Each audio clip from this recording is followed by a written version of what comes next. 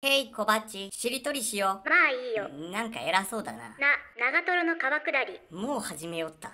うーん、リス。すったて。うんすったてって何？すったては埼玉が誇るソウルフード、野菜の旨味でいただく冷や汁うどんです。へえ、美味しそう。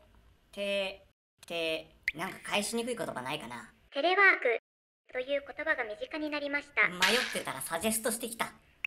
テレワークのポイントは都心へのアクセスと住環境です。おすすめはピンポイントで埼玉。最近では自然豊かな埼玉にもテレワークスポットが続々登場。